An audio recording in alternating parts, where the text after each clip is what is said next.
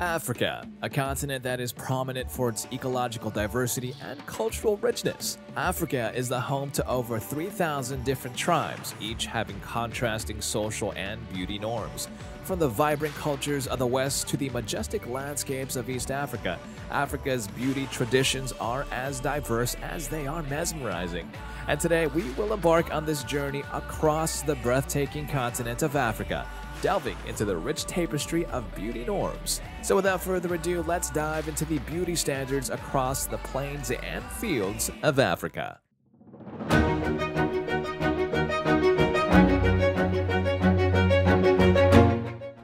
Africa is home to many different beauty standards. These trends vary from place to place and tribe to tribe.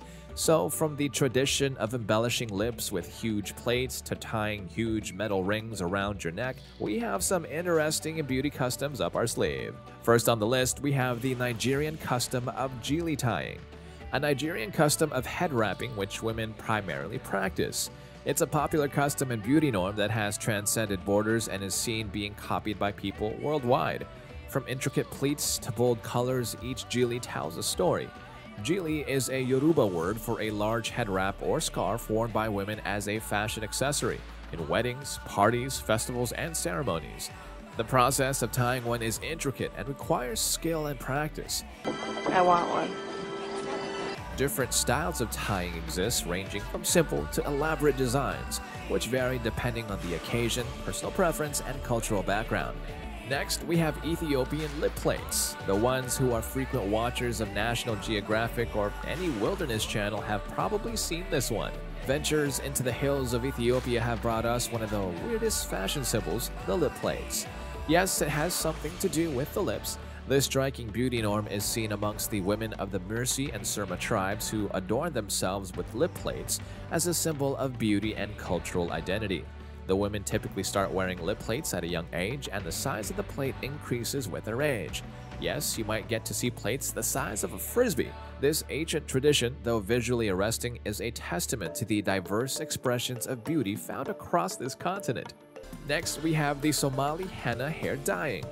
Henna is a skin adornment that is used in various countries and traditions globally to draw various mesmerizing patterns on the skin.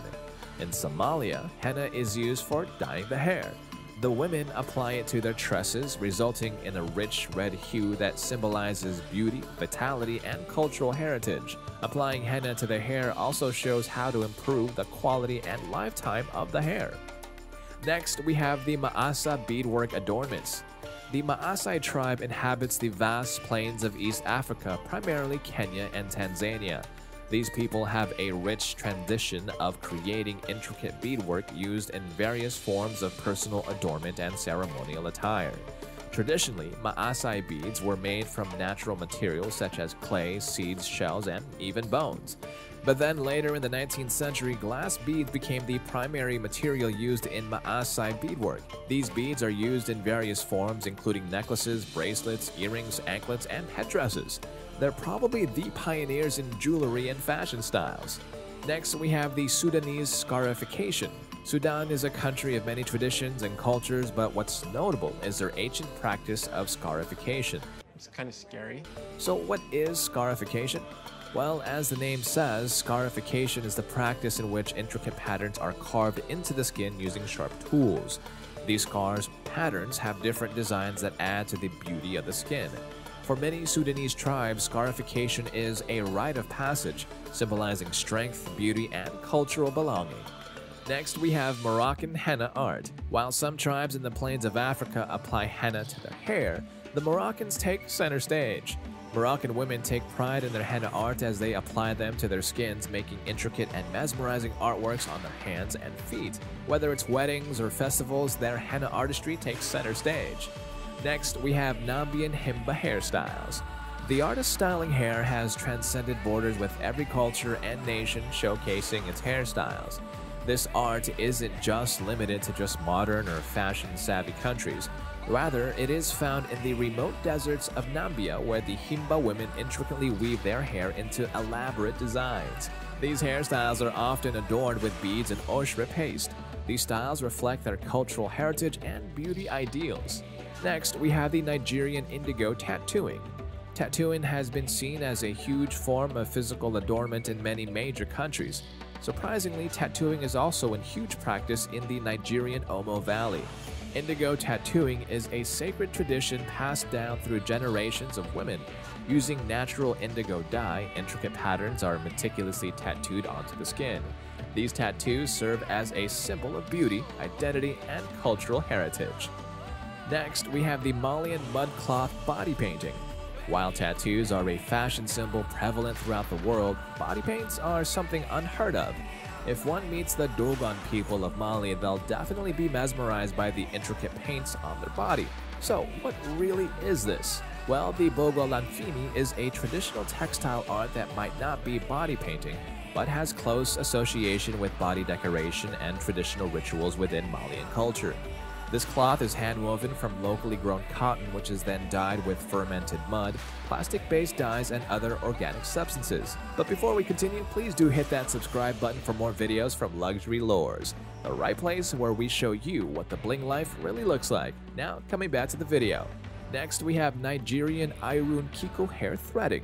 The Yoruba people of Nigeria have their own style of tying their hair. It's pretty dope.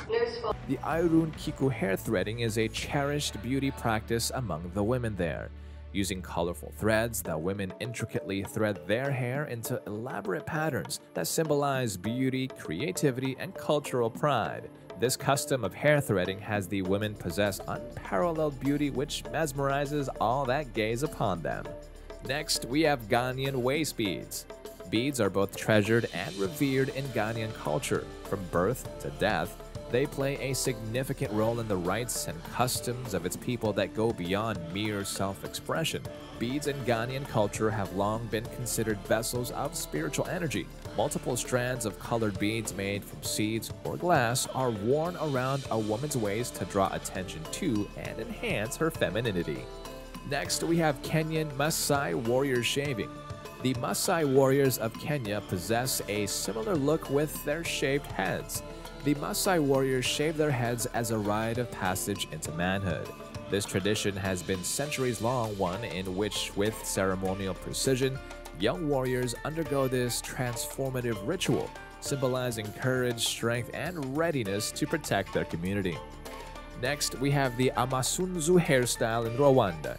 The Africans have a keen interest in their hairstyles and have been the pioneers in many various styles. This interest led the Rwandans to formulate an elaborate hairstyle, the Amasunzu. This hairstyle is worn by Rwandan men and unmarried women with their hair styled into a crest, frequently described as crescent shape. This style is more than a fashion statement, it is a symbolic representation of cultural pride, ethnic beauty, and rich heritage. Next, we have the Berber facial tattoos.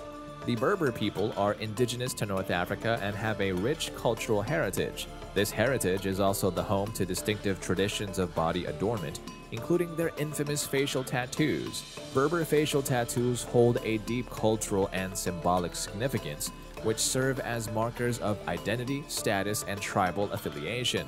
The designs and meaning of these tattoos change with the varying tribes found, but they mostly represent lineage, marital status, religious beliefs, or protective symbols. These tattoos are etched by professional tattoo artists within the community, which are mostly elder women who use the traditional techniques to hand poke the designs onto the skin. Next up, we have the Wodaabe Gerewol Festival makeup.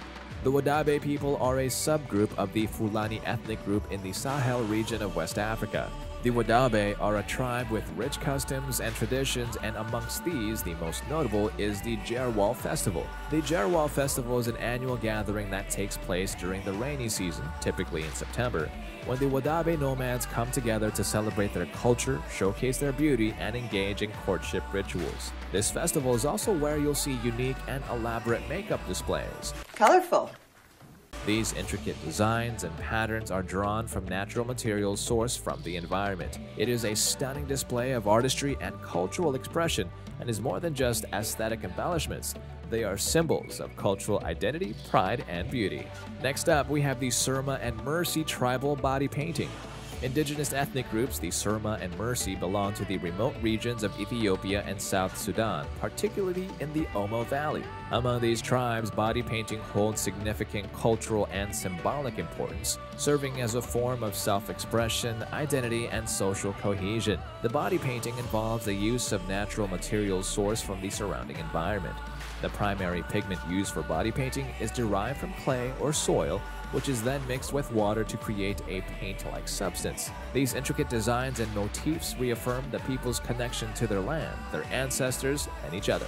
Next, we have the Zulu headdresses and accessories. The Zulu are a Bantu ethnic group indigenous to South Africa. The traditional attire of the Zulu consists of headdresses and accessories that aren't just decorative, but also carry deep cultural and symbolic significance. These headdresses are of different styles, but notable are the isicholo, aka Zulu hat, isikiza, aka Zulu headband, izikolo, aka Zulu necklace, inkisiyo, aka Zulu earrings, Imbadada, Zulu anklets, and the last but not the least, Izikwaza, aka Zulu waistbands.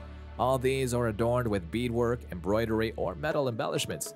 These headdresses and accessories play a vital role in expressing cultural identity, tradition, and social status within the Zulu community and represent the wearer's social status, age, marital status, and ceremonial roles. Next, we have the Saharan blue robes of the Tuareg. The Tuareg are a nomadic Berber ethnic group inhabiting the Saharan regions of North and West Africa. The Tuareg are also known as the Blue People due to the indigo dye they use in their Saharan blue robes. These blue robes are iconic symbols of their cultural identity and heritage. The distinct blue color of the Tuareg robes is achieved through the use of natural indigo dye. Yeah, so shiny and blue. Derived from the leaves of the indigo plant, and it is a process of intensive labor which requires skills and expertise to achieve the desired depth of color.